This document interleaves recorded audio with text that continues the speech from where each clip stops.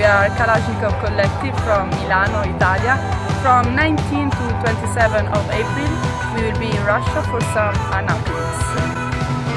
Moscow, Nizhny Novgorod, Saransk, Togliatti, Kazan,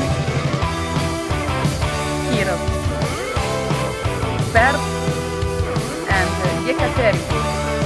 Be there!